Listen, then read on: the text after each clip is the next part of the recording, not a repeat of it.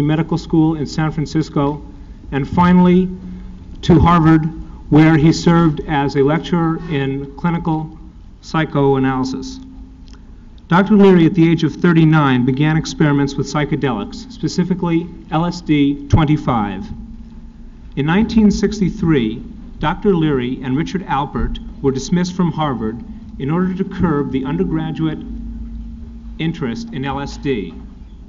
Dr. Leary established in Mexico the International Foundation of Internal Freedom, but the Mexican government demanded that he leave the country. He considers the current marijuana laws unjust and a violation of the Constitution, specifically the First Amendment guaranteeing the right of spiritual exploration, the Fifth Amendment guaranteeing immunity of self incrimination, and the Eighth and Ninth Amendments. At approximately 10 minutes of one, we will have a short break. Those of you who are interested in staying for a question and answer period will please, please move to the front. Microphones will be set up at either side of the ballroom to accommodate those who wish to ask questions. Our only request is that you make your question only a question and not a statement so that as many people can ask Dr. Leary something as possible. And now it is my pleasure to welcome to the university Dr. Timothy Leary.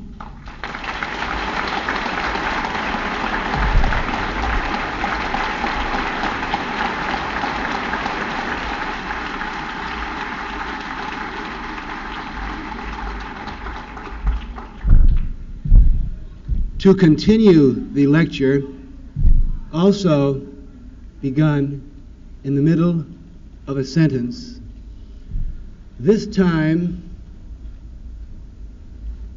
at UCLA, Los Angeles, California, United States of America, planet Earth, the year 1967 as time is reckoned in the common era, about a million or perhaps two million years after our species started its game, about two billion years after the genetic code began its game,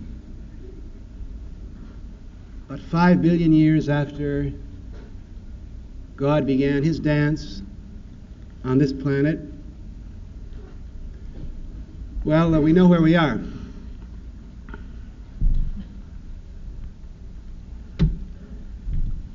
The uh, chemical I'm about to ingest is odorless, tasteless, and colorless. It's addictive.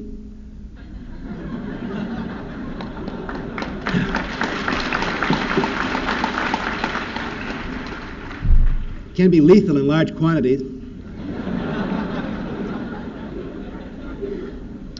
and it's harder and harder to get in its pure state.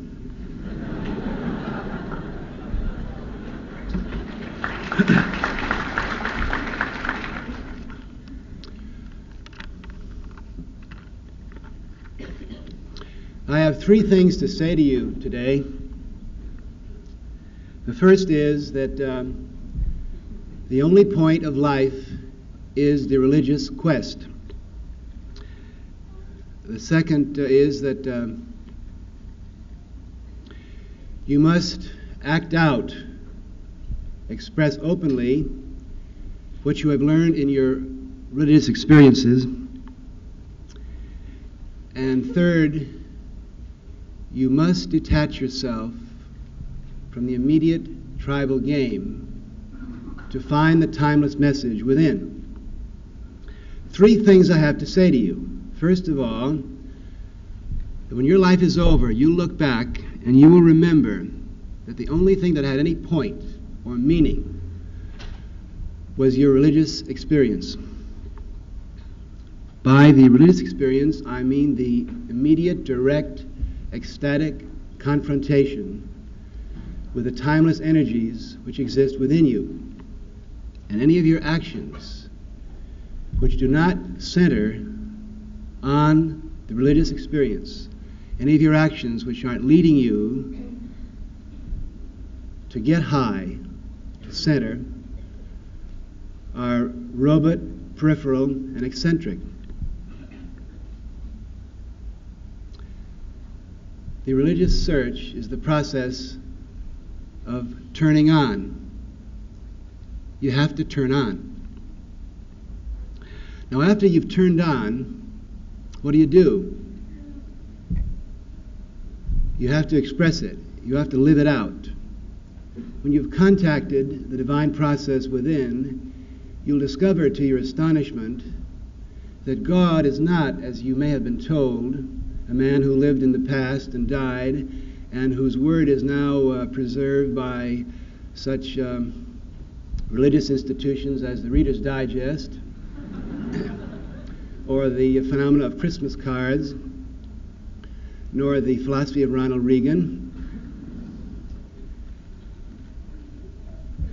The divine process, if it's anything, if it can be described, and of course, man describes God at his own risk. But if it is to be described, it's closer to music.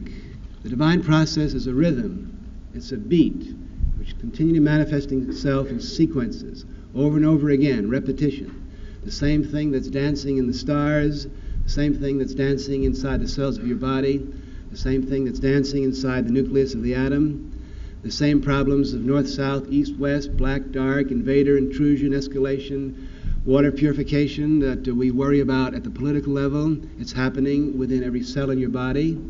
Indeed, every cell in your body is uh, an organization of communication, defense, transportation, corruption, cleanliness, uh, much more complicated than the city of New York. God's rhythm is expressed at every level of energy, and it's always sequence, it's always cycle, it's always doubling back on itself when you've turned on, you tune in on this beat, and then you have to start dancing. And the rest of your life becomes uh, in tune with the rhythm that you're discovering within. After you turn on, you tune in. And you can't turn on and tune in unless you systematically, gently, aesthetically begin to detach yourself from the immediate tribal game, which is always anthill. And this process of detaching yourself, tuning in, we call drop out. You have to drop out. Now, it may seem eccentric to you that uh, I, a middle aged man, comes before you and tells you that you have to get religion. I'm a little astonished myself at uh, being here and saying these things. 25 years ago, I was a college undergraduate, meeting as we are today in rooms um, lit by electricity, listening to graying middle aged men of the culture stand before us uh, with microphones, essentially to uh, present uh, their philosophy of life, really to defend their point of view, to rationalize what they're doing, and uh, with the implication that perhaps some of you would want to, uh, some of us would want to follow the example of this uh, uh, speaker. Now, 25 years ago, when I was a college undergraduate, there was nowhere listed in the um, college catalog the uh, courses uh, that one might take to uh, work into the profession which um, I now belong to. You can look at your college catalog from aeroscience through to xerography in zoology, and you'll find no courses or majors in how to become a full time searcher after the divine process. And the vocational counselors and the occupational psychologists uh, won't help you either. You won't find uh, my profession listed in the yellow pages of the phone book. Now, it's all taped out for you in the college catalog, beloved robots step by step, your life, any profession you want to choose, is there, as it was for me. If you want to uh, go into politics, uh, study history, law, political science, and when you graduate, um, join one of the two parties, and with a little hard work and uh, luck and an Ipana smile,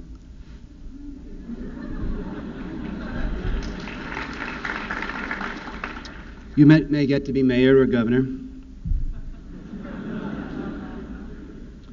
Medicine, it's all taped out for you, beloved robots.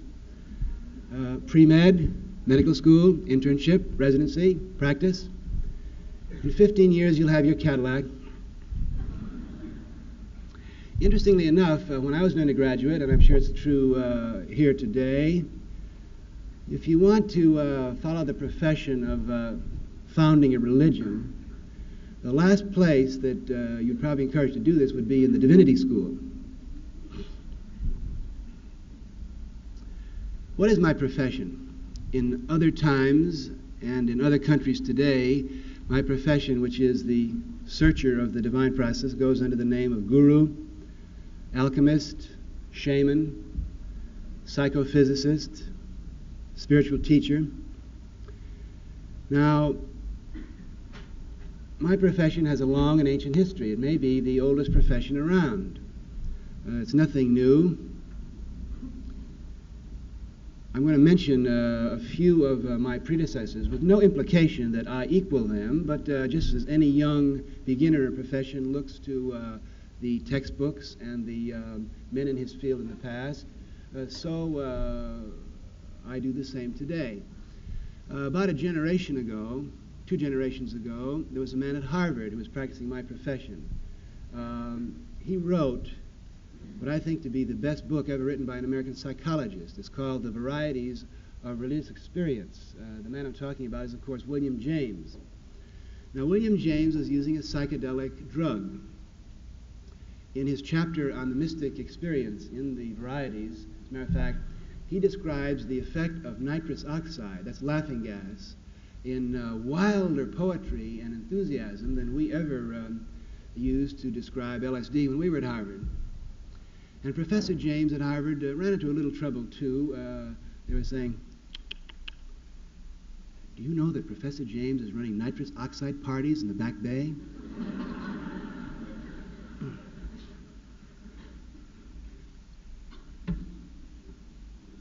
At other times in the past, such men as William Blake, did you know he was a psychologist? Um, Shankaracharya, the great visionaries and mystics of the Catholic and Protestant Church, the Hasidic thread throughout uh, the Jewish religion, uh, the Sufis of Islam, uh, back uh, to the um, Buddha and Lao Tzu. Their tradition of finding meaning within, of finding some method of turning on, of finding the uh, divine process inside has been going on. It always runs along as a uh, thread in human history, uh, underlying the exploits of politicians and soldiers and um, uh, legislators, but it's there.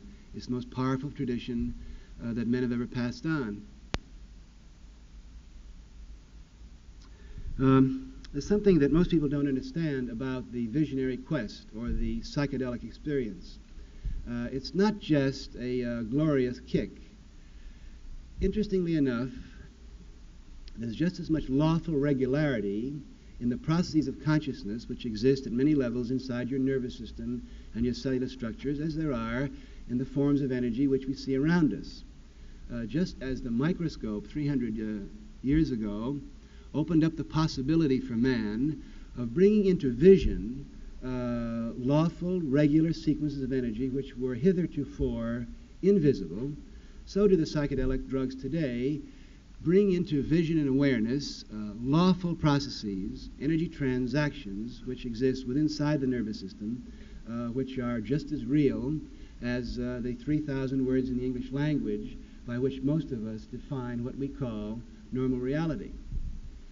And I'm sorry to say that the um, uh, procedures of uh, my profession require just as much hard work, disciplined attention, and regular practice as do the uh, disciplines of physics or chemistry or politics. The psychedelic experience is no shortcut. Uh, there's no instant mysticism, there's no instant psychoanalysis, there's no instant anything. Just as a person who first looked at the microscope uh, could look at it and uh, he didn't know what it was, so the, uh, the initiate, the fir- person who takes LSD for the first time, is whirled into a cellular, capillary, tissue, uh, protein molecule universe that is completely incomprehensible to him. Now, when the microscope was first discovered, someone could look at it and say, uh, Ooh, amazing. bugs. Uh, an artist might look at a microscope uh, and say, amazing design, I'll, uh, I'll paint new pictures. The neurotic would look at the microscope and say, ooh, my mother-in-law. the guy from the establishment would look in the microscope and say, there's no place for us and for this in our uh, Bibles or medical tracts. Uh, clearly, this is the work of the devil. Arrest that man.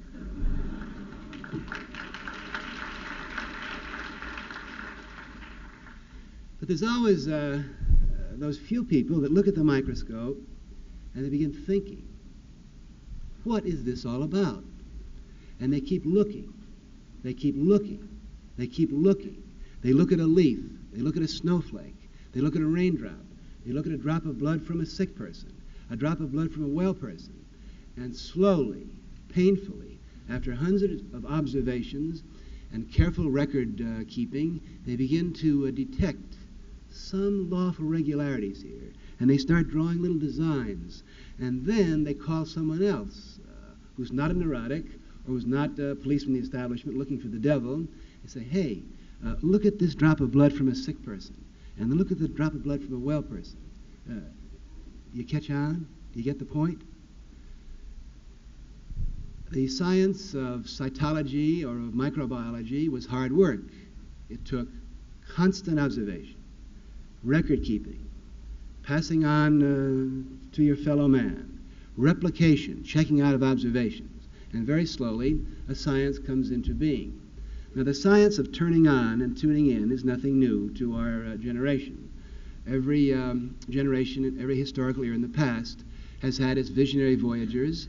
Uh, they've kept their logs, they've passed on their methods, uh, they've passed on their observations, and we can check out the uh, discoveries of the Buddha or Shankaracharya or St. John of the Cross, uh, just as a student of physics today can check out Galileo's uh, experiments with inclined planes. And you know, um, it happens to work. Uh, the divine process, uh, the genetic code uh, in its many manifestations, has been playing this game for two billion years, and there are regularities. Uh, human language uh, changes from uh, century to century, but the nervous system doesn't really. The processes of energy around us, as registered by our sense organs, don't really change. The problems of survival on this strange, dark planet haven't changed that much in the last hundred thousand years. And these are the uh, messages, ancient and orthodox, which uh, are rediscovered, reinterpreted, and added to by the psychedelic um, Voyager today. Now, let me tell you something about the process of uh, turning on. You have to have a sacrament. What is a sacrament? A sacrament is something visible and external that you don't worship, but that you use as a key for uh, getting you out of the immediate time space tribal game and uh, turning you on to what's inside. Now, as you look back over the, human, the uh, history of human religions and uh, the science of um, consciousness, you will realize after a while that man has used almost every possible technique for turning on. And uh, oddly enough, uh, he's used opposite techniques it, it staggers the imagination to think of something that man at one time or another hasn't used to turn on. Uh, he's used silence and solitude, or he's crowded together in large groups in small rooms uh, to make uh, chants and noises. Uh, he has used uh, sexual renunciation, or he has used the carefully worked out, exquisitely detailed sacramental techniques of tantric uh, Buddhism, where your mate is the goddess and making love is the way to turn on to the divine plan. He has used uh, fasting and he has used uh, careful diet, uh, as macrobiotic people do today. Now, the sacrament is always seen as dangerous. And let's uh, not cut corners here. Any sacrament which works is dangerous in two ways. In the first place, it flips you out of your mind. It flips you out of the space time coordinates of uh, Westwood and 1967. And if it doesn't do that, beloved robots, it's not working.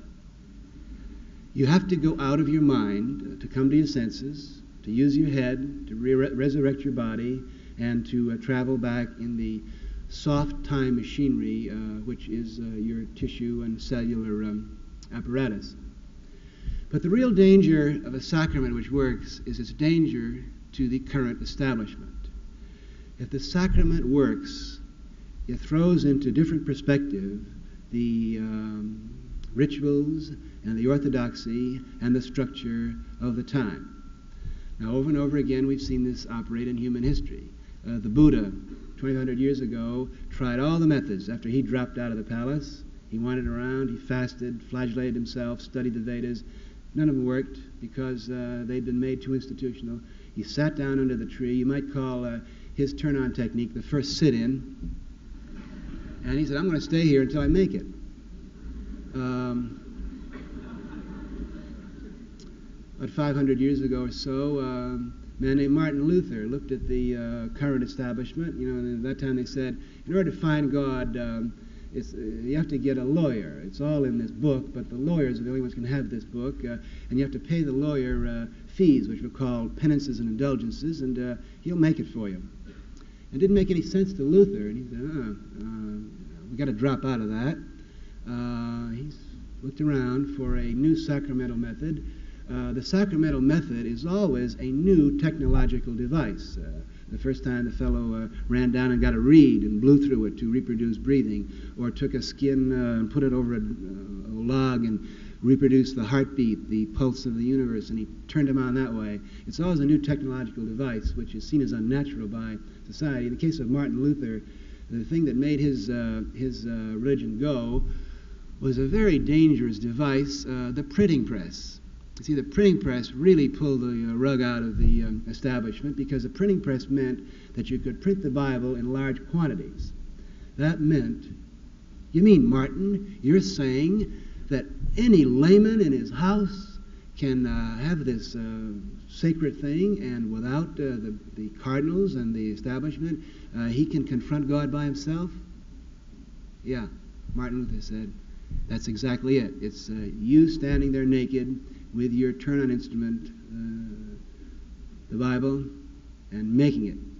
But, but Martin, if God had intended that man uses an artificial technique like a printing Bible, uh, he would have uh, made man that way.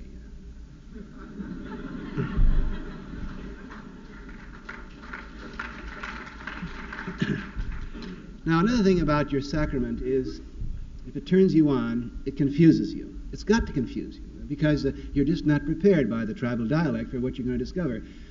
Unfortunately, I must announce to you, robots, that uh, God doesn't speak English. He's been speaking English for about uh, four or five hundred years. Before that, he spoke uh, Latin. Before that, Greek, then Sanskrit. Uh. the facts of the matter is, I read my cellular uh. God's been talking cellular and molecular for hundreds of millions of years. And the biochemical phenomena is the key to deciphering uh, what uh, the divine process hath writ. And remember, there's that regularity. You have to have maps, you have to have manuals, you have to have a guide, you have to be planned. Otherwise, you'll be very confused. And it's hard work, it's repetition, it's keeping your uh, attention over and over again on this uh, ancient voyage. Now, um, I want to give you a, um, uh, a little illustration of this. The first time that I was ever turned on um, biochemically um, was by my father at the age of uh, seven or eight. Um, my father was a dentist. I had a toothache. I went to his office and uh, he decided to take it out. And I remember he put that rubber mask over my mouth. And I saw his hand on the dial. And then, uh, zoom! I was at another level of consciousness. I don't remember too much about it except I laughed a lot. I can speculate now as to what I was laughing about. But then uh, I could see his hand on the dial. He took me down, and I left his office and went to school and so forth. Um, many years later, about two years ago, as a matter of fact, uh, I was about to go to India, where I was going to spend six months studying with some uh, world famous uh, members of my profession, including Lama Anagarika Govinda, the, uh, the Lama's Buddhist scholar. And uh, I didn't, I, I, needed some fillings in my teeth. I didn't want to have a toothache on the banks of the Ganges. So um, I started going to a dentist in Poughkeepsie, New York, which is about 15 miles away from where I live. And uh, I went 13 or 14 times, and um, the uh, dentist used a uh, consciousness contracting drug. Every time I went, he'd shoot me up with Novocaine.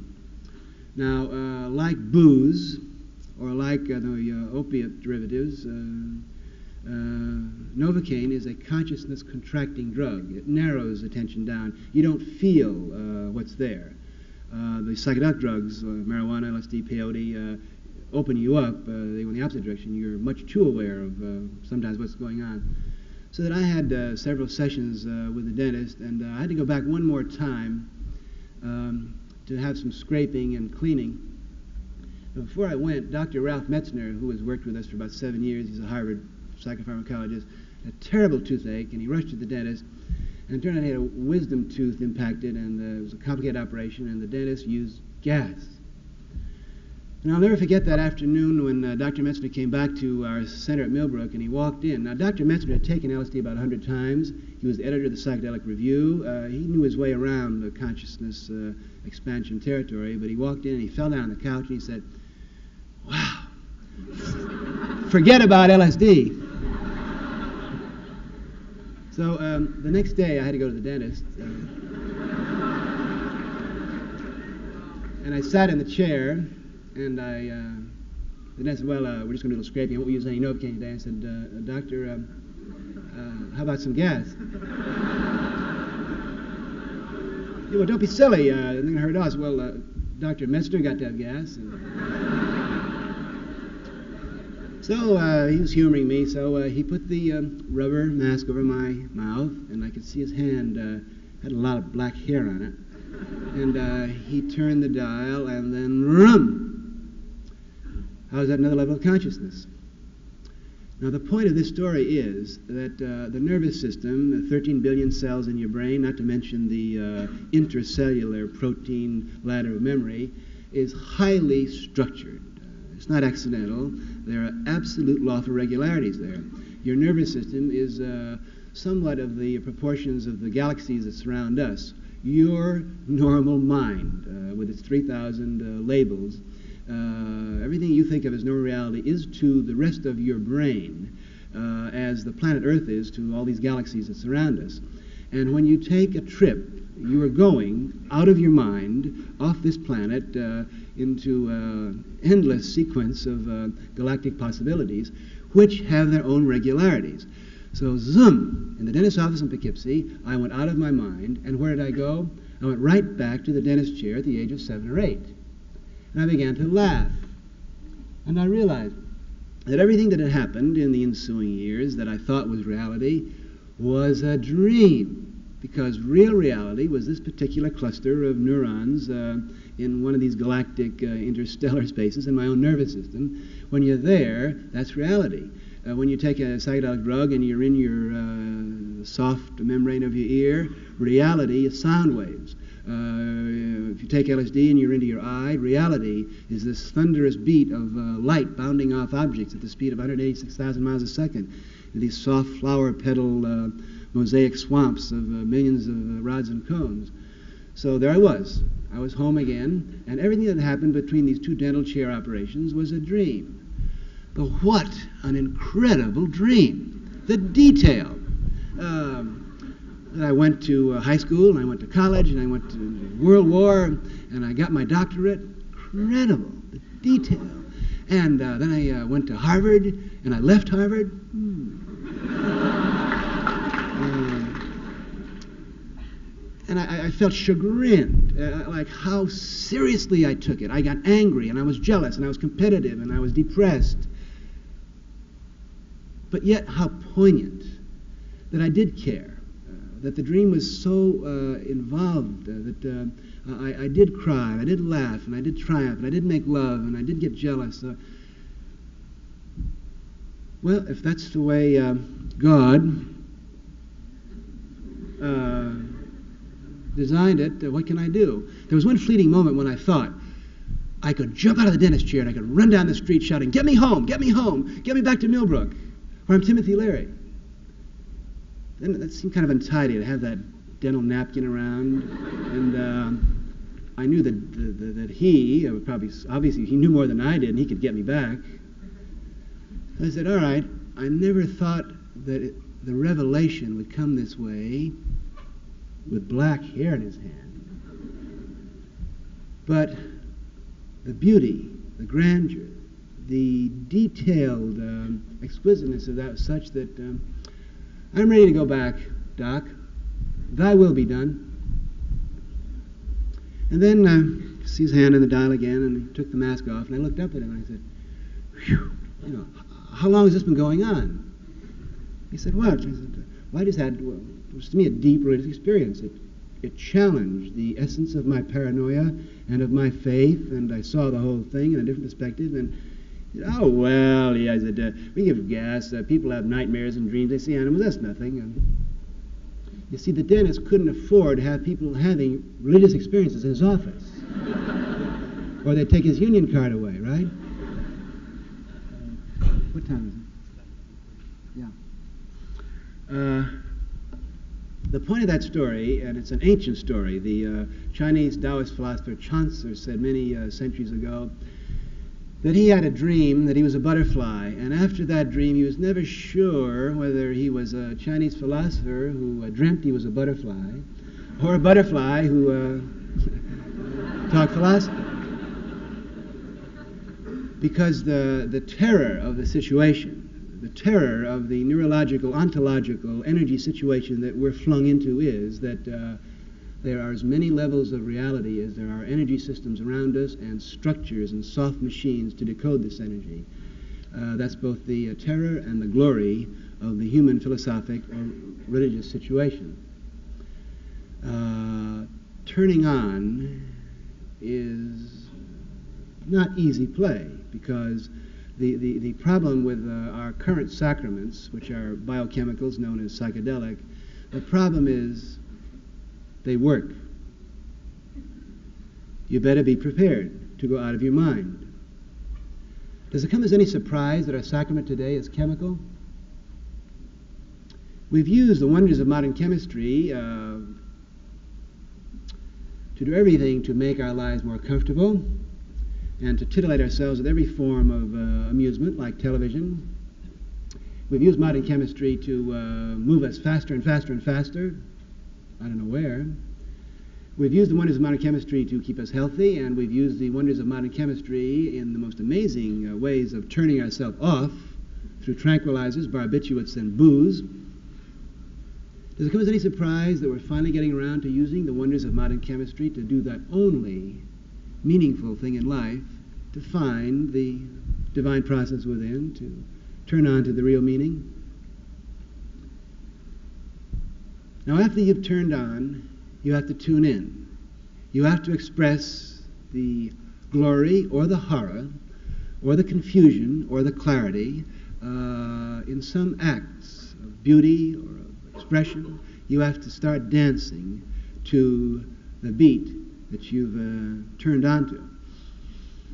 Um, it's no accident that we have psychedelic art today. If you look back, and it's what we're going through has been, you know, it's, it's been going on over and over again, the same cycle. Drop out, turn on, tune in, structure, drop out, turn on, tune in, drop out, turn on, tune in, drop out, turn on. You know, uh, the, the phenomenon of psychedelic art is one of the uh, oldest uh, symptoms of the, um, of the process. Every group who has stumbled onto a new sacrament uh, gets this revelation and they rush back to the tribe and they put on the uh, walls of the cave with the berries or they uh, uh, scratch out in the sand or they uh, get some new way to, to, to, to, express it. You've got to express it, uh, mainly for yourself so you can remember it, so you can reconfirm it, but then, of course, to turn other people as well. And then you build Chartres Cathedral. Then you build the Taj Mahal. You weave a Persian rug. You've got to express it somehow because that beat, you know, it's the old basic deep rhythm. You've, you've got to start tuning into it.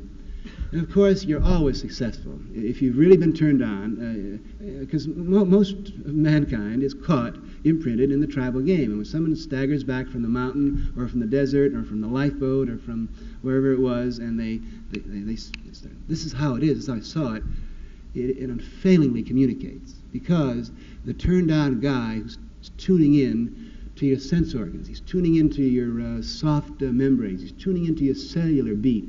Tuning into your heart. It's no accident that the new art always takes on. It's no accident today that, I, like, can you name me uh, one internationally famous rock and roll band that isn't doesn't have in its repertoire a hymn or an ode uh, to uh, psychedelic drugs? Uh, this is part of the the historical process. Um, we are here in Los Angeles this week to uh, tune in. We're presenting at Santa Monica Thursday and Saturday night our psychedelic celebration. Uh, using psychedelic art to uh, reproduce and induce a psychedelic experience to show what a trip is like. Now we've got ourselves, uh, we turned on and uh, we're tuning in and we got ourselves caught. Uh, I'm caught right now in show business. You know, I, I, I, can't stop.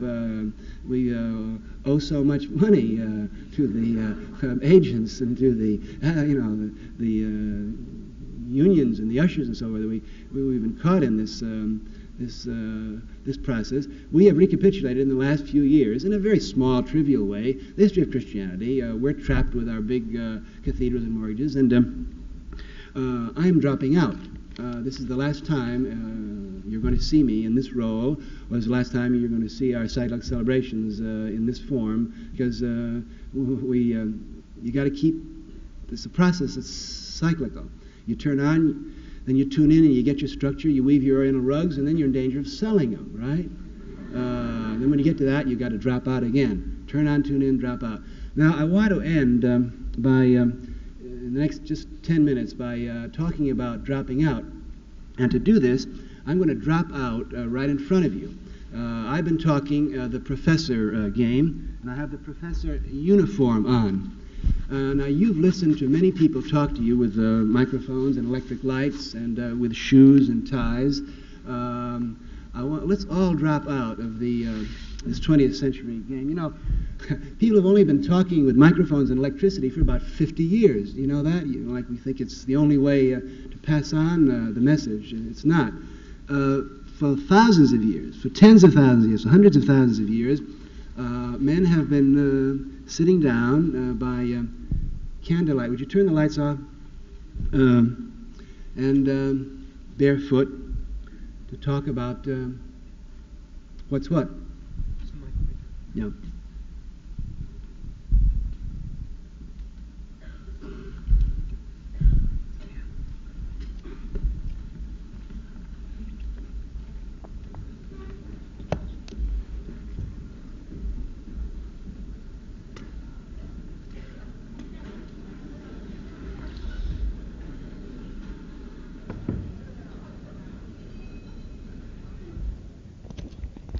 I am uh, taking off my shoes and socks.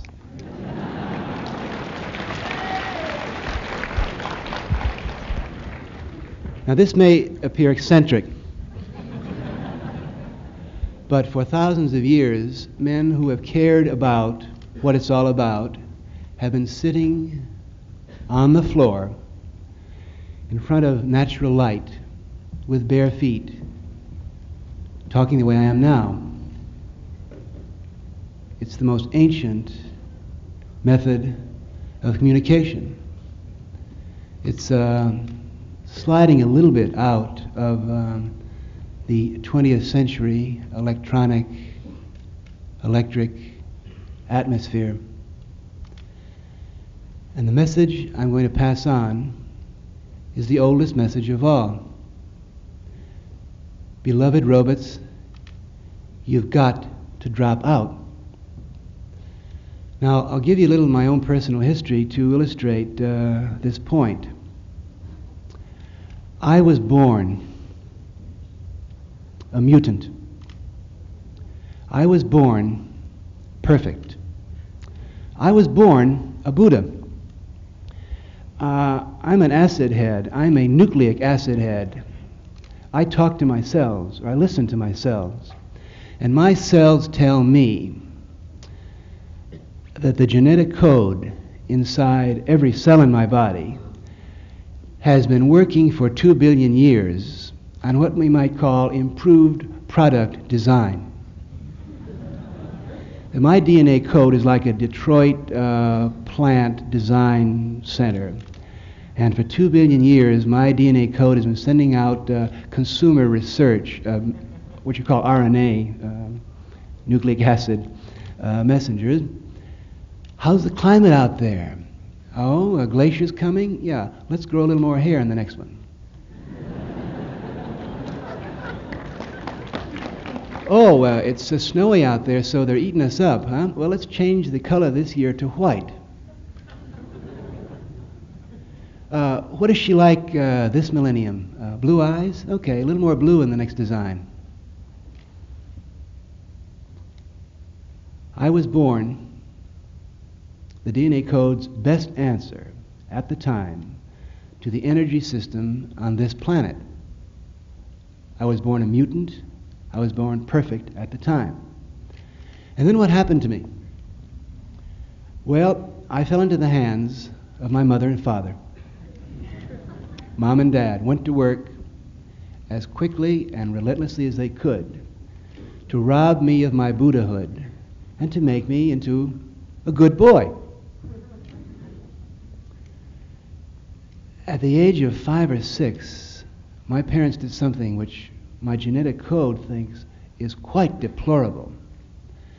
At that tender, susceptible age, they turned me over to some strangers who hung around a primary school pushing addictive drugs. The drugs were tribal symbols, and the drug pushers that hung around those primary schools were my teachers. I wonder if the same thing happened to most of you. You know, each one of you was born perfect. The complete two billion year deck of cards was in your hands. You were all born Buddhas. Don't you remember? What happened? Probably the same thing that happened to me. The tension between the generations, young and old, is the oldest tension in human history, my cells tell me, is particularly difficult today. At no time in human history are two generations farther apart than the people under 25 and the people over 50. Now, I'm here to preach harmony and union. I don't want any of you to rush home and beat up on mom and dad. Indeed, I suggest that when you're ready, when you're spiritually ready to do so, go home and turn on mom and dad.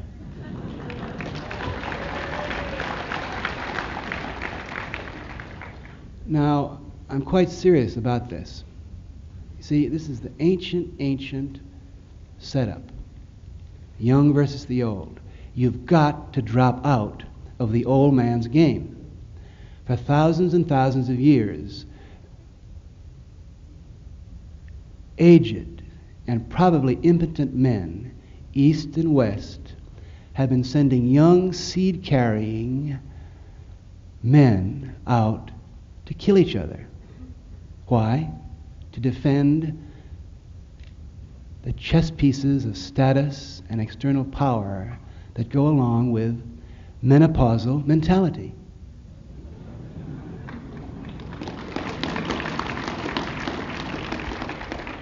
When, you see, we were all born turned on. We were all born completely hooked up to the whole process. 13 billion cells, all radiating in tune with each other and what's going on outside. And we've been robbed, step by step by step, of this internal power. Men seek external power when they've lost the internal power. Men who are sad, sad, sickness, age, death, begin to grab on the outside. And don't kid yourselves, beloved young robots, for thousands and thousands of years, aged and probably impotent men in the East and West, Athens and Sparta, you know, uh, Persia and uh, Athens, uh, France and England, for thousands of years, these aged men have been fingering the lovely long tube of power which has just been given them. It was the spear, it was the sword, it was the long blow, those lovely cylinders of external power. Now, come on. Are you going to fall for this? You've got to drop out. Now, by dropping out, I don't mean any acts of rebellion. Don't vote, don't picket, don't protest, no visible sign, because anything you do in the way of overt political activity is playing the game. It's playing the power game. Dropping out means gently, invisibly, beautifully finding what's inside and expressing it slowly in a cellular fashion around you. Now, there are a lot of misunderstandings about dropout. You say, Timothy, you just can't go in front of high school kids and college kids and tell them to drop out of uh, school. Beloved robots, I've got to. Are you under any illusions about the fact that UCLA is sponsored by taxes paid by menopausal people to make you like them?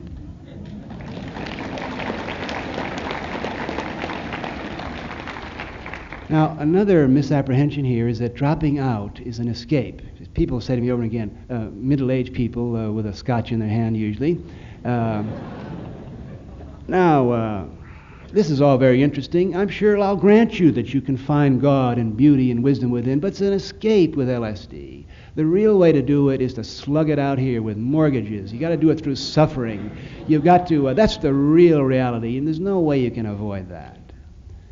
Beloved robots, that's the big lie. The real addictive narcotic process in this country is the establishment. Now, do you know what addictive narcosis is? I've never taken heroin, but I've talked to a lot of junkies. And they say it goes like this uh, You stick the needle in your vein, and then very quickly you fall into this kind of womb like, uh, gauzy cotton, pleasant uh, situation where you, the things that go on out there, what's really going on, you don't care about. It's so cozy. It's so cozy and it's always so pleasant. And all you want to do is to keep it coming. That's the only thing you're concerned with, is to keep this process coming into your vein that makes it so warm and soft and cottony cozy. You good boy, now you're in high school. Yes, now you get a little car. Isn't that nice? Doesn't that feel good? Yeah. Now college, get a bigger car. Now, oh yes, you're doing fine. Just keep it coming. Doesn't that feel good? There's nothing to worry about. There you go. Now you're a junior executive. Oh, yes. Now you get a nice car. Yeah. Get a nice split level house. Isn't that good now? And look at that television. Isn't that great? Now what do you want? Yeah. Oh, you're doing fine now. Yeah. You're going to take over the office. Now you get to have that winter in Florida. Doesn't that feel good? Isn't that? What's there to worry about? It's going fine. Isn't it? Got your insurance paid? Oh, you're doing wonderful. Fine. You're all set? Yeah. Now we got the senior citizens house. Isn't that beautiful? Wonderful color television. There you go. Wasn't that easy?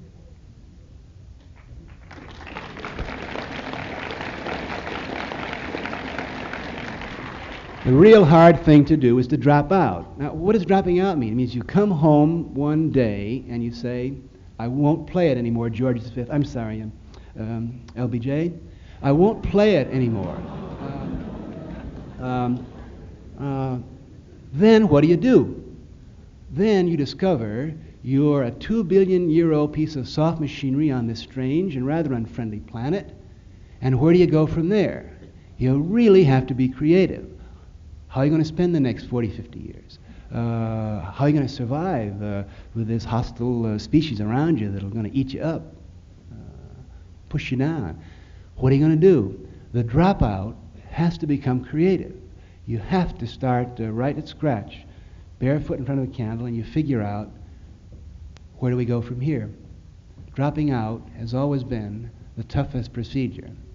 Staying in is the easy, addictive way. Now, don't vote. Don't take jobs. Uh, don't belong to political parties. You know, remember back in 1962, uh, we elected a peace candidate? Do you think it makes any difference who won, wins the fight in China? In Poland, uh, the Catholic cardinal agrees completely with Gomulka uh, that we got to keep dresses uh, long and uh, keep people working hard. I mean, menopausal mentality uh, uh, simply quarrels over who's going to run the show. But menopausal mentality wants to pass laws to keep you uh, coming along.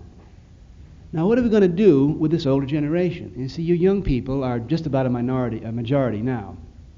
But what are you going to do? Now, obviously, we can't, uh, as the Berkeley radicals want us to do. You know, they've corrupted our motto, turn on, tune in, drop out in Berkeley now. They say, tune in, drop out, and take over.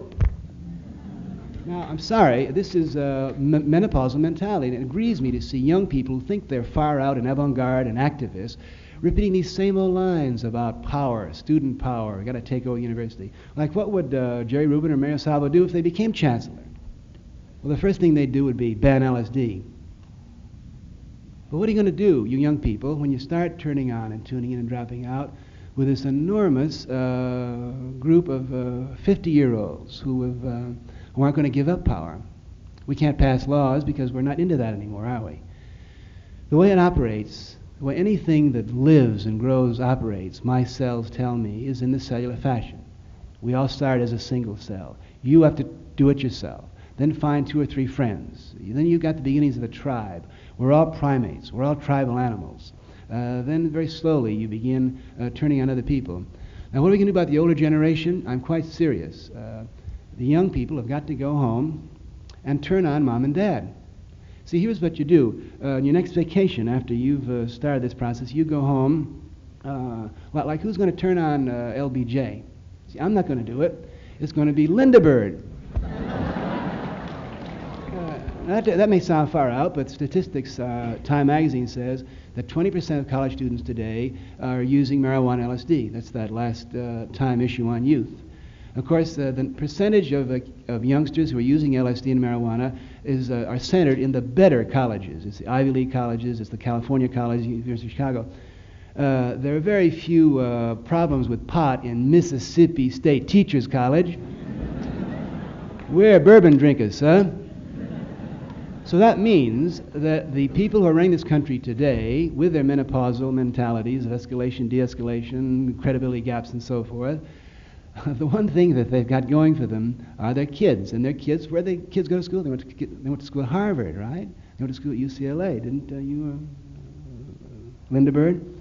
So the dialogue's got to be uh, sooner or later you're going to have to come home and you're going to have to sit down in your uh, living room with Dad. Uh, Hello, Daddy Bird. Um, son, would you like to have a drink? No, Dad. Um, I don't think I'll have a drink right now. Um, Dad, um, don't you think you've done enough? Don't you think you've worked hard enough now? You, you, you, you ran for the Senate 30 years ago, Dad. You've been, you've been, don't you think you should rest, Dad? Uh, why, uh, why, don't you, uh, uh Daddy Bird, why don't you uh, just retire now and spend the 10 years left finding God? Come to your senses. Learn to use your eyes and your ears uh, run barefoot on the beach. Uh, can you do that? Uh, now we're going to have to take away all your toys. UCLA students, we cannot let the menopausal mentality vote. Nobody over 50 should be allowed to vote. They shouldn't be allowed to have power. They shouldn't be allowed to have cars hurling around. What's a 60 year old lady doing in a car? she should be sitting somewhere out in the, in the meadow, uh, uh, smoking marijuana.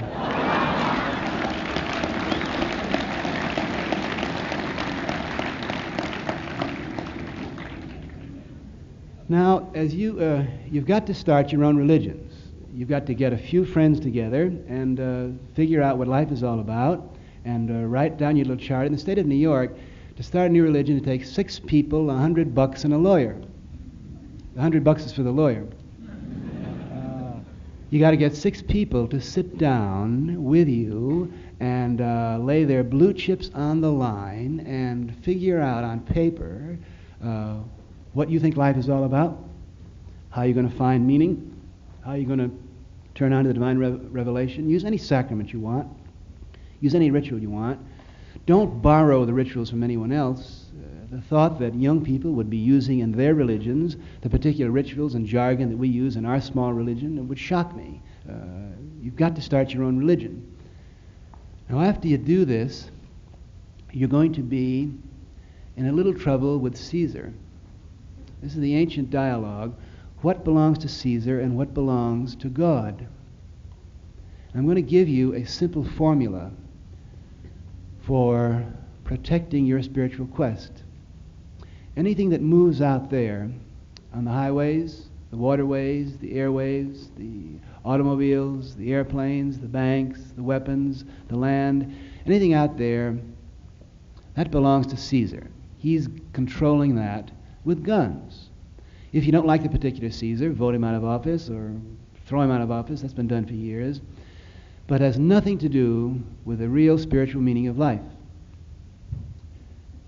which takes place inside the kingdom of heaven. Now, where is the kingdom of heaven? The kingdom of heaven is your body. The gates to Eden are your sense organs, and the boundaries of uh, heaven is your skin. You remember what the man said? Seek ye the kingdom of heaven, it's within you. Now, he didn't mean that metaphorically. Beloved brothers, he meant that literally. Within you, inside your body, is the kingdom of heaven. No one has the right to tell you what you do inside your own body. Why? Because inside your own body, you are God. Inside my body, I'm God. I can change the levels. I can change the climate. I can change the whole procedures only inside my body. Now, because I'm doing this and I'm God within inside my own body, that gives me no right to rush out on the freeway and stop the cars and say, I'm the new Messiah, folks. Because uh-uh. the uh, freeway belongs to Caesar. And my divinity ends exactly where it begins at the ends of my sense organs and my skin. Now,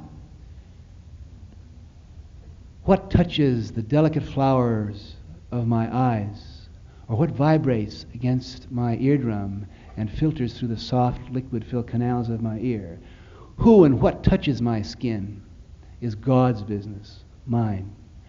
What I introduce in my body, sexually or chemically, is my business and nobody else's.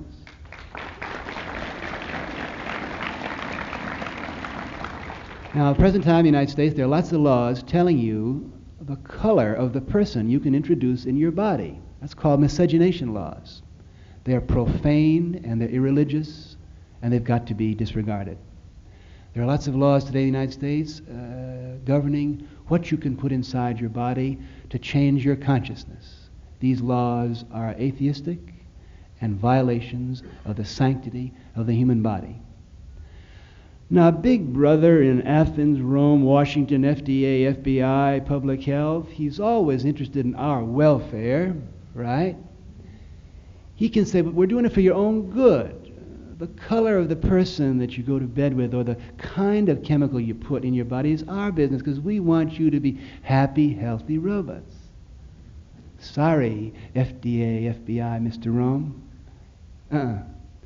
Now, what you can do, Mr. FDA in Rome, is this you can put a label on the package. And you can send uh, FBI, FDA stu- uh, lectures here to lecture to us, fine.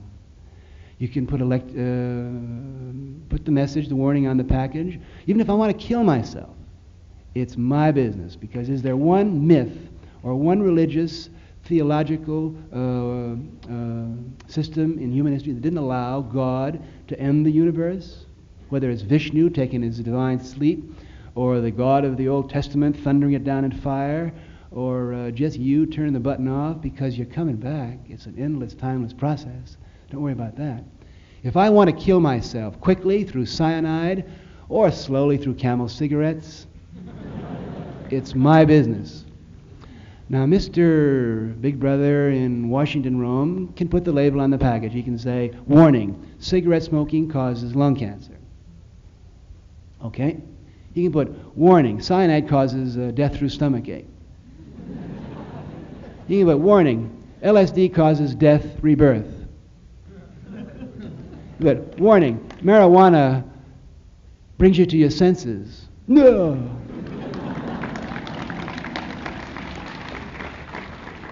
but what I do within is my business. Now, if the things I put in me lead me to rush around outside disturbing Caesar's order, arrest me. If the things I put in my body cause me to be untidy or to break laws out there, I have no defense. There are plenty of laws to protect public decorum and uh, highway, byway safety. Those are Caesar's laws, fine. But in the sanctity of my own home, with my family and my co religionists, in front of our shrines, smoking marijuana or camel cigarettes, or even if we want to be as reckless as to drink some booze now and then, that's our business. Now, one final word of warning. As you turn on, tune in, and drop out, you're going to discover that you're a mutant, that you're perfect, that you're God, because you are. But be careful. If you rush home and uh, say, uh, Well, Daddy Bird, I'm God, your father's going to say, um, Mother, come here. He said, yes, uh, call the doctor. Yes, he said, he's come home from UCLA and he says he's God. You're likely to end up in a psychiatrist's office or worse if you go around announcing your two billion year old divinity, which is an ironic commentary on the atheism and external addiction of our culture. At other times, and indeed in most places in the world today, like India in the East, if a man comes down to the marketplace and comes home and says, Hey, I'm God, know, his family says, Well, I'm glad, glad you caught on. Uh, he always was a slow learner. Matter of fact, the uh, standard form of greeting in India today is this Namaste. Namaste. I salute the God within you. And then walk down in the middle of a sentence to the next lecture.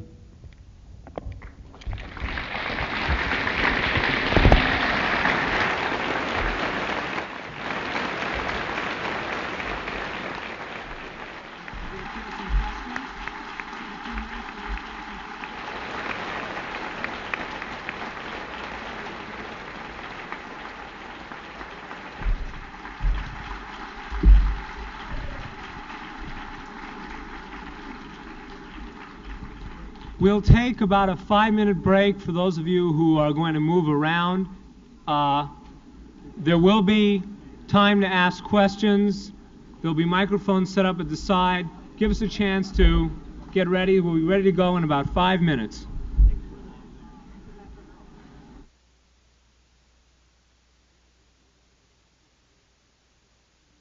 When people say to me LSD is artificial, you mean a, know, 100 billion year old, million year old drug is artificial? Uh, uh, when they say LSD is an escape, when they say LSD is a crutch, I'm being taken into their chessboard of concepts in which psychological crutch uh, seems to be uh, a meaningful concept, which it isn't to me. So I'm, I'm, trying to put myself on the chessboard of someone who has this piece which says uh, LSD can be a psychological crutch. And then I have to ask, well, what do you mean by psychological crutch? What is not a psychological crutch? Is a study at UCLA psychological crutch? Is um, our book psychological crutch? Uh, is any sacrament a psychological crutch? Uh, is any is anything anything you do out there a psychological crutch? See, from the standpoint of your real Buddhist, your person who's really centered, uh, from the standpoint of someone like Krishnamurti, anything you do is a crutch. The only thing you have to do is just be centered, gyroscopically uh, in tune in every second to the millions of things that are going on around you. And then, of course, from that standpoint, LSD is a psychological crutch. you UCLA is a psychological crutch. Clothing is a psychological crutch. Um, I have to ask, to inquire, what level you're asking this question. Is LSD psycho? Uh, see, the psychiatrists say, well, uh, we, we grant that marijuana and uh, LSD are not uh, physically addictive like booze and uh, camel cigarettes, but they're psychologically addictive. People can get dependent psychologically on marijuana and LSD. And sure, that's possible. Uh, uh, there are many people whose uh, games become centered around the whole cups and Robbers thing of being a pot smoker or uh, we already have, uh, as every religion has, uh, LSD one-upmanship. Uh, the person whose psychological crutch is, I've taken LSD more, I've taken more LSD, or, you know, so that uh, anything, any form of energy, uh, any word can be used as psychological crutch. And to that extent, LSD can be a psychological crutch. The point of the psychedelic quest, remember I, I, I started this lecture at the beginning of a, in the middle of a sentence, Uh, your life began in the middle of a sentence. Uh, the genetic code is always spinning things out in the middle of a sentence. Uh, it's the continual process of turn on, tune in, drop out, turn on, tune in, drop out. As soon as LSD becomes a psychological crutch to you, take LSD. the crutch will be gone. Uh, yes, I was wondering what you, uh, when you say when, the term dropping out, I want to ask you why you are in, if you were going to drop out, why are you so involved in the game right now in the process of making money and going to nightclubs and performing your psychedelic rituals? I also want to ask you why. Wait, let's ask that, and then let me. Uh, okay. And then I'll give you a second question. Um, like I don't perform in nightclubs. Uh, not that I have anything. Uh, I, I, think that a religious service could be held in a nightclub. Uh, the new religion always starts, you see, with those three groups the young, the creative uh, artists who are dissatisfied with society, and with the minority groups of color. The Christian religion, you know, uh, didn't start in uh, Canterbury Cathedral. It started in those low down, offbeat galley slave uh, meeting places. The new religion always starts in the Lower East Side. Uh, then, uh, as far as making money, uh, I, I, I, wish that were true. Uh, the reason, as I say, that we're continuing this one cycle of celebrations that we contractually agreed to is so that we will um, break even. We're, we're a nonprofit organization, and no personal monies are made. Now, why do I do this at all? Uh, frankly, it was a mistake. Uh, we got led step by step into this uh, uh large hall uh, where you advertise and you have to have a publicity in order to fill it. That was a terrible mistake, and we'll never do that again. We, it happened. The way that happened was that we had been working on psychedelic art techniques at Millbrook, and we were running summer sessions, and we uh, were, were, becoming more and more effective. Because, believe it or not, um, we're God intoxicated. You've got a tough minority group in your hands on us, because uh, to us, uh, we, we're in, in touch with the divine presence. So we developed this psychedelic art, which really was working. And then we said, well, we'll take it down to New York City and turn on some other people there. And uh, we couldn't get a small theater, and we got into a large theater, and the most terrible thing happened to us. We became successful. And Variety had uh, headlines Doc Leary grosses 10000 a week. And uh, the, the critics uh, uptown, Broadway, came down and said, Ooh, it's a new Andy Warhol type of happening. Everyone's got to see it. And uh, then, uh, uh, you know, they said, come on, to build a big cathedral now, so many people want to get to Chartres. You know, come on, you got to build a big temple for all those people in Delhi. But of course, then you got to have to get the lumber and the ivory and so forth. Oh, now now you started this. The, your next celebration's got to be because thousands of people want to see it. So then you got to spend more money for it. It was all a mistake. We're sorry we did it. We've learned from it, and we're dropping out. As I say, it's the last time. This particular tour is the last time you'll ever have the opportunity to see our Taj Mahal Canterbury Cathedral because we're dropping out of it. Now, you had a second question. I want to know uh, do you think that you could attain the, uh, the place where you are now without any education? You said that you were born a Buddha and then your parents deformed you, so to speak. And I was wondering if you are condemning your education and telling us to drop out of school so that we can't reach the state that you're in, in our own selves. Oh, listen. Uh, uh, uh, of course, take everything I say with a grain of salt. Nobody really knows. Uh, don't listen to whatever anyone tells you to do about putting who or what you put into yourself. Uh, be very skeptical.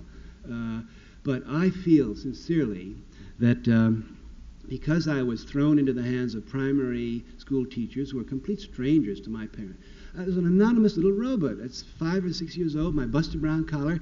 They put me into the hands of the most, the complete strangers. They didn't know who that first grade teacher was, with all of her fierce commitment to make me a good boy and to make me into a good little robot. Yes, I feel that uh, the educational process I went through uh, lost me about 30 years. And if someone had told me, uh, as we, the psychedelic um, uh, religionists are telling our kids.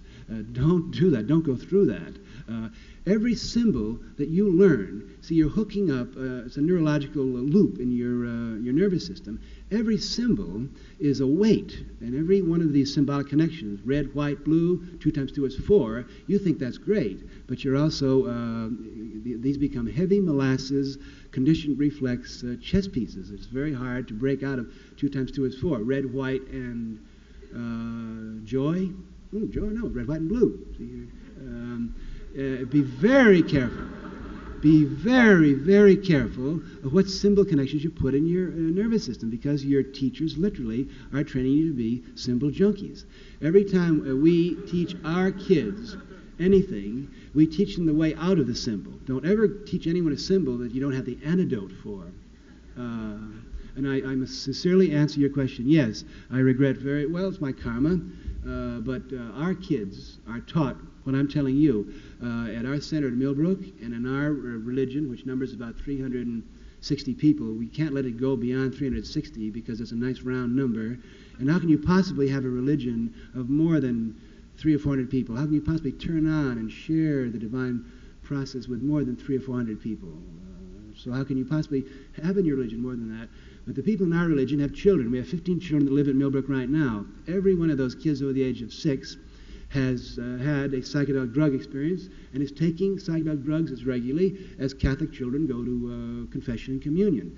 These kids are being taught what we believe that education is a narcotic addictive process which will make an ant-hill robot out of you. And uh, we may be wrong.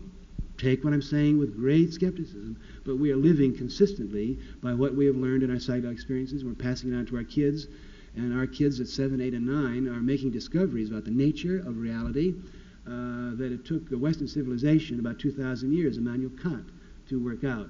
And we may be wrong. Uh, we're a social experiment, as any new tribe is, as any little band of mutants are. That's how we see ourselves, living in a feudal society where we pay feudal dues to uh, Baron Rockefeller of New York and uh, to the king in Washington. We're living by our wits, as tribes have always done in feudal societies. Uh, we're an experiment. We may be all eccentric. Uh, don't follow our, our method, but uh, listen to us and watch because we think we're in tune with the basic tribal, primate, cellular uh, beat, tempo of God, and we may uh, have a way of go- life going that may save us all from becoming a planetary, air conditioned, freewayed, blonde, tanned, crew cut race of robots.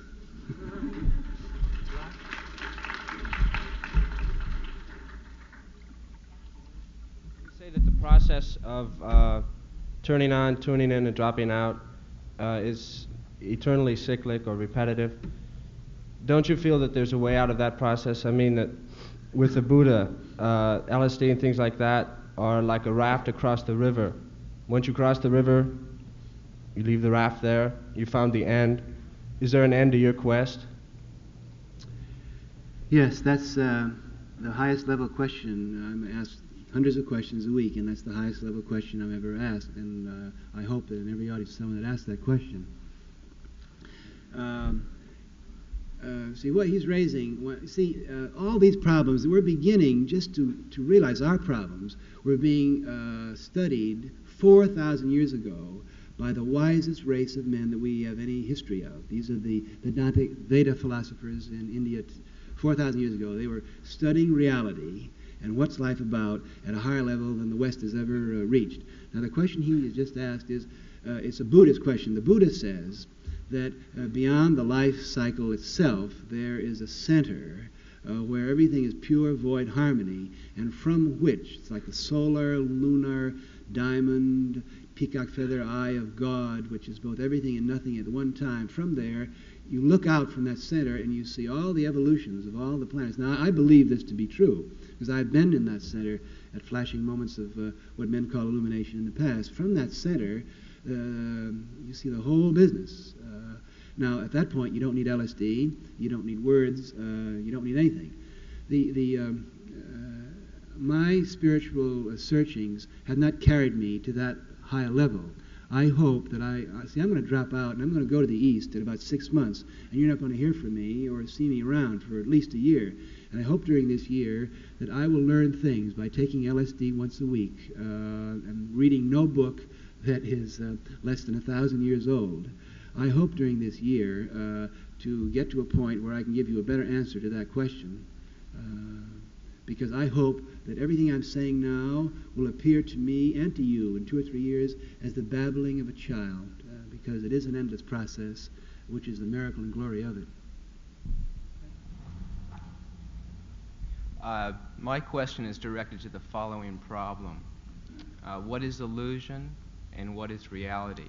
Now, some have argued that we simply can't get behind our thought models because our thought models are determined by our physiology.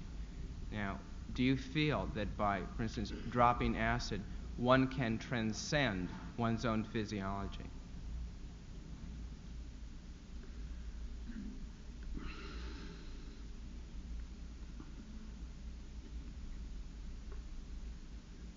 No, I don't.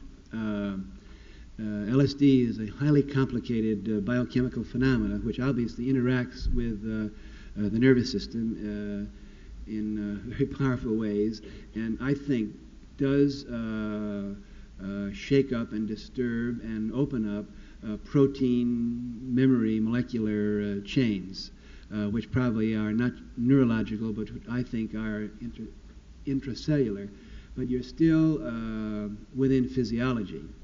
See, the, you have to accept karma. Karma to an Orientalist uh, is the fact that uh, your seed was planted on this particular slope so that your branches and twigs and uh, whole uh, structure was lopsided because of the fact that you were born in the United States in the 20th century with a particular concept, because you were born in this kind of a body. If you were born 50, 100,000 years from now, you would look back on us the way we look back on uh, the early cavemen. This, this is all physiological in addition to social, political, and personal karma. Now, I think that uh, we always have to accept the fact that we see the whole process from within this transient uh, physiological uh, instrument. It is possible to get this instrument tuned in to such a point by using sacraments like LSD that you're in touch with cellular, genetic, and even meta living phenomena.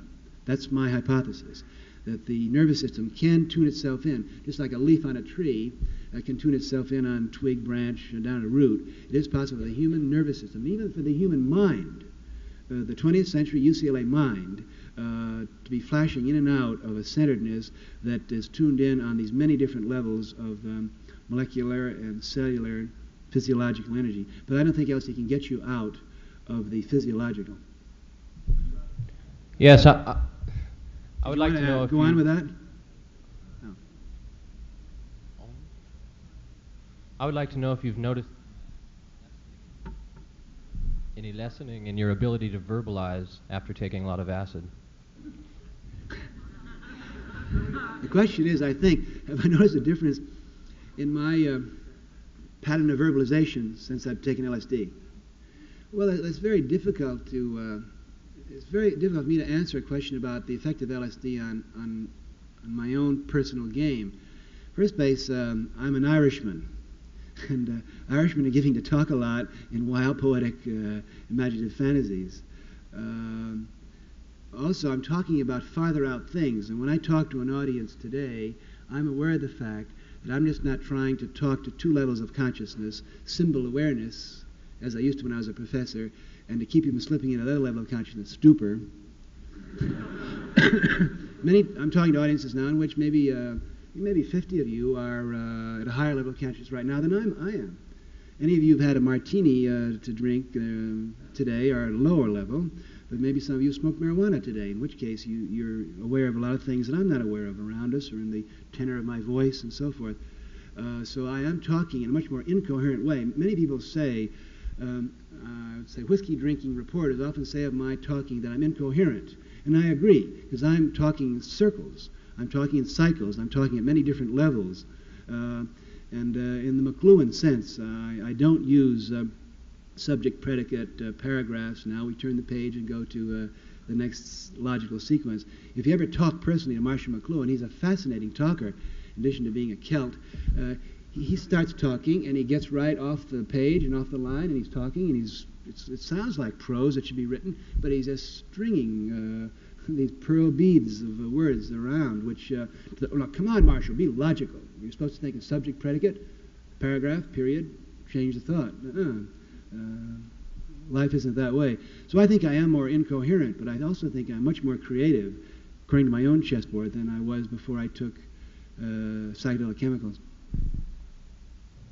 Dr. Leary, implied in my uh, last question uh, was an underlying question. That is, all right, since man can't transcend his physiology by dropping acid, then how does one know, uh, for instance, if a particular vision or a particular experience, say, uh, isn't merely just an illusion that we need to see?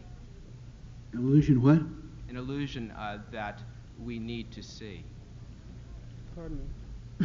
you mean the LSD religion?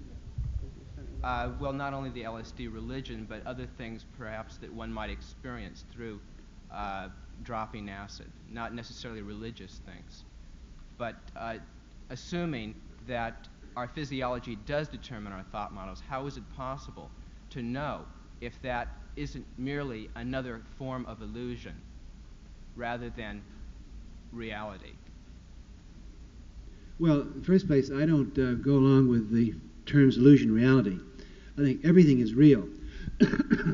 I think Webster's dictionary is real, and all the words in Webster's dictionary are real. They're little wiggles of black on white. Uh, they may not have no connection with any other level of reality, but uh, uh, uh, my definition of reality is uh, an infinite number of realities which are defined as different patterns of energy decoded by different structures. So I, I, think that what goes on inside the nucleus of an atom is a reality. It's a reality that's invisible to us. What goes on inside your body is invisible to us. Uh, one level of reality is the symbolic mind that we were taught in college and in high school. Uh, the uh, the glory of the situation to me is that you tune in on more of these levels and you harness them up. It's a bead game that we're playing. We're trying to be able to register and uh, incorporate and integrate and coordinate many, many different levels of reality. But it is a game. Uh, the LSD religion, which is going to be the orthodoxy in this country in 10 or 15 years, is a game. I think it's a much higher level game uh, and a much broader game and a much more harmonious uh, divine game than the one that's played out in a whiskey drinking culture. But it's still a game. And people in this room will see within 10 or 15 years an LSD orthodoxy. The LSD game is going to go the way of every other game. Uh, there'll be a psychedelic commission in Washington which will be passing down directives saying uh, students are forbidden to take LSD 100 until they pass marijuana 1A.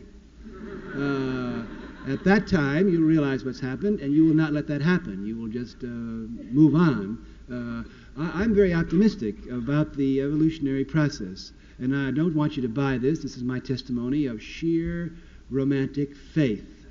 I happen to worship uh, the DNA code as, a, as the most complex manifestation of the divine process that I can understand. Uh, I think the DNA code has been doing this for two billion years, always by the skin of its teeth. The DNA code is always down there, inside the nucleus of every uh, cell, spinning out this wonder, wonderful variety that we call every form of life, vegetative, mammalian, and so forth. I think the DNA code is continually freaking itself out and surprising itself.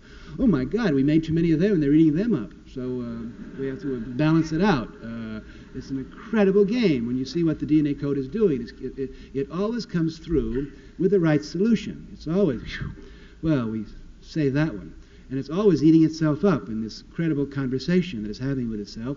And it is basically unified. It, it started. Uh, two billion years ago, we're told. I think that, uh, that the genetic code always produces the particular molecule it needs. The language of DNA code is, is uh, molecular. It always produces the vitamin or it always produces the uh, particular chemical that's needed.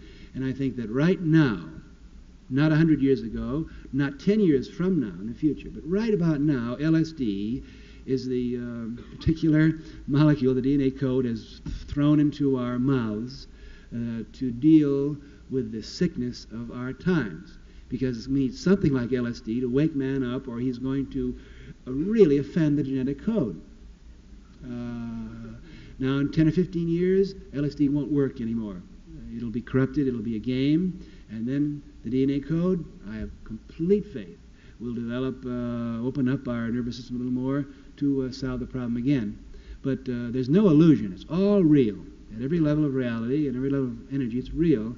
Uh, and one thing that disturbs the people in my profession is that that uh, some people get turned on to one level of reality. You can get turned on to your eyeball. And like the first time you take LSD or sometimes even marijuana, you become so entranced with vision. It's all alive. It's all, of course, alive. It's a light bouncing into your retina at a speed of 186 miles. Do you think there are things out there? There's nothing but light that hits your eye.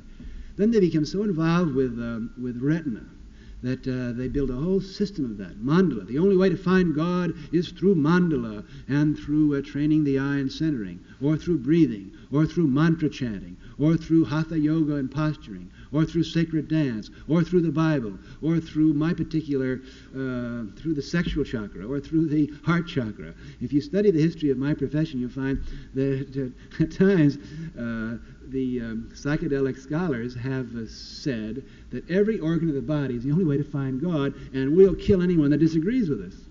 Uh, but uh, there are many levels of reality. The glory, I think, of the human situation is that we can at this time really explore this wide variety, use all of them uh, to uh, find meaning, and we must be very tolerant about the particular religious sacraments and energy systems that other people use to turn on with. Could I have one more question, please? By, by dropping out, as you want us to do or suggest that we do, aren't we really aiding and abetting the establishment by giving them a clearinghouse, clearing out the people that they don't need or they don't want so they can carry out their plans of destruction, their monstrous ideas and plans? All right. Suppose uh, that uh, a considerable percentage of college age and high school age kids uh, try this experiment. Okay, we'll drop out for just six months. Just six months, uh, Daddy Bird, that's all. Can't we have six months?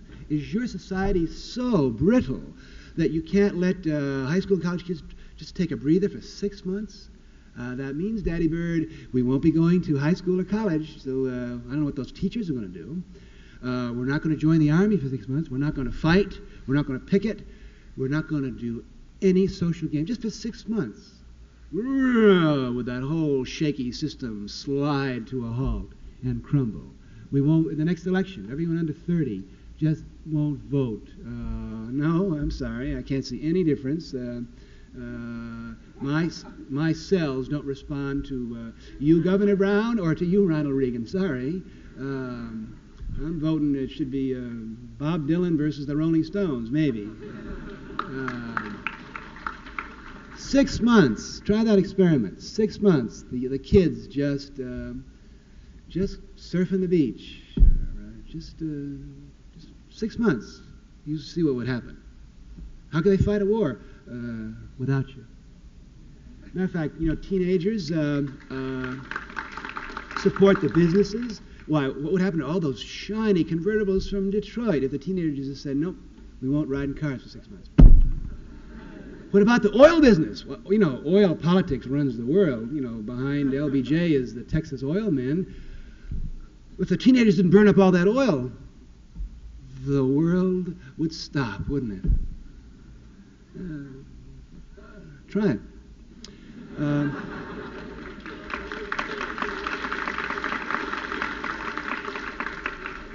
turn on, tune in, drop out, turn on, tune in, drop out, turn on, tune in, drop out.